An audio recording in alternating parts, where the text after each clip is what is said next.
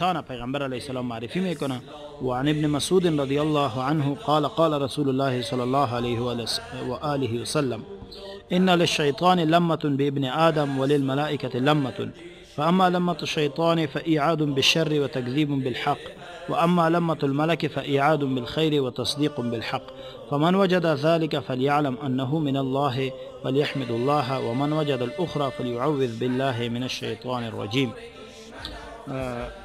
دری حدیث پیغمبر علیه الصلاة والسلام می فرمایا از سیدنا عبدالله ابن مسعود رضی الله تعالی عنه روایت است که رسول الله صلی الله علیه و آله و یقینا برای شیطان یک دکه به ابن آدم است.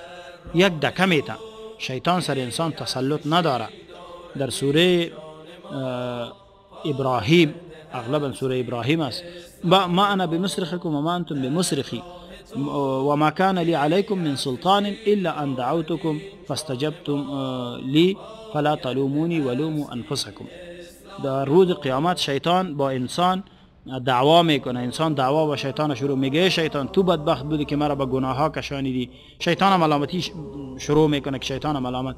شیطان برش میگه کاکا مرا ملامت نکن خدا ملامت کن. و قال الشیطان لما قضی الامر وقتی که فیصله می‌شود الله جل جلاله فیصله می‌کنه جهنمی ها را به جهنم و جنتی ها را به جنت.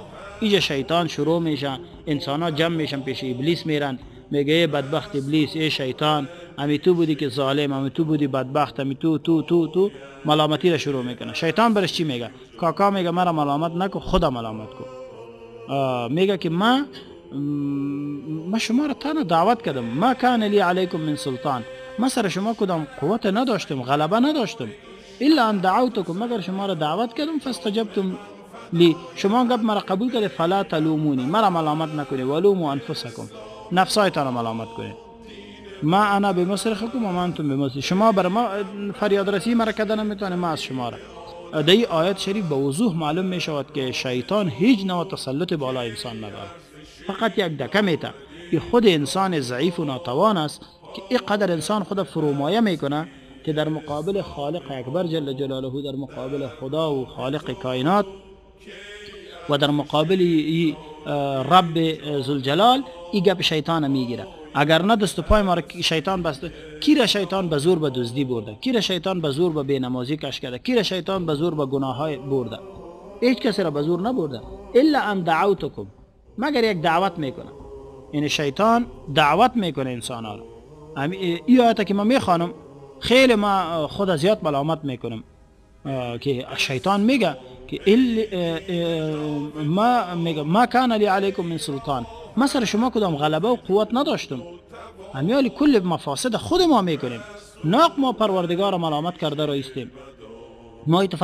ما میگیم که خدا تو ما را تو کردی تو کردی. و شاعرای ما هم در گلو گلایه و گزاره و چی چی می‌کنه که خدایا در قعر دریا تخت بندم کرده باز می‌گویی که دامن تر مکن هوشیار باش. ها شاعرای ما میگه به نحو ملامتی به پروردگار میاندازن. الله را ملامت می‌کنه نعوذ بالله. که الله تو ما را کار کردی. در این رابطه ما یک بار تفسیر نمونه از اهل تشیع را خواندم. که یک مجموعه از آیات الله های اهل تشیع خوانده نوشته کرده در ازشان شیرازی است. ما شیرازی را از نزدیک چند بار دیدیم در پای ششتیم. دو بار بر ملاقات از اون ما را بردن وقتی که ما در ایران درس میخواندم.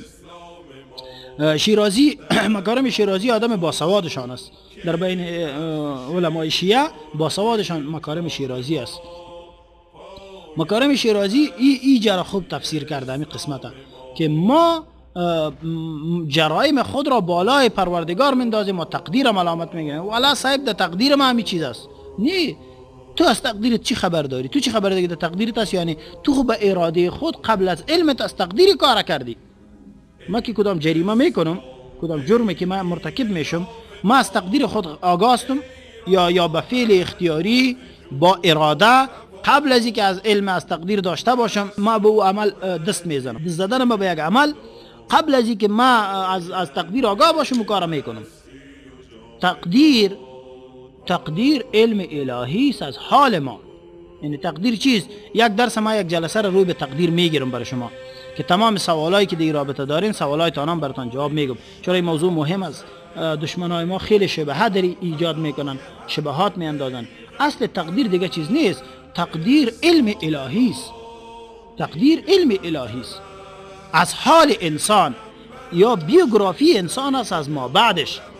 ما بیوگرافی هایی که ما در دنیا داریم این بیوگرافی های ما بیوگرافی های گذشت زندگی ماست. لذا عزیزان تقدیر را ملامت نکنیم بلکه خود را ملامت کنیم چون انسان هر فعل به اختیار خود اجرا می‌کنه.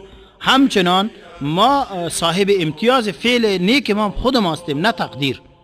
تقدیر سرنوشت آینده ما را به علم الهی رقم زده و از ما پوشانده است. تقدیر هیچ کس نمی‌فهمه. به شمول پیامبران الهی مگر که الله الا ان یطلعه علی الغیب. مگر که الله رب العزت کسی را به غیب بسازه الا من ارتضى من رسول فیوحی الیه ما یشاء. او را الله جل جلاله بعضی ها را پیش از پیش آگاه می سازه یا بعضی ها در خواب می‌بینه. مثلا خواب می‌بینی که کار صبح و تو میشه پیامبران الهی هر خوابی که میدن مانند فلق صبح می درخشنده او را روشن می‌دیدن. این موضوع استثناء و علاهده است. اما قاعده عمومی است که از تقدیر انسان الله انسان آگاه نمی‌سازه.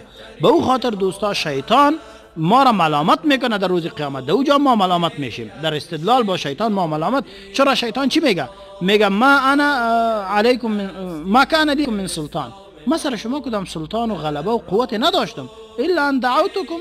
دعوت کردم فاستجبتم لی. فلا تلومونی. مرا ملامت نکنی. ولومو انفسکم. اسلام ما.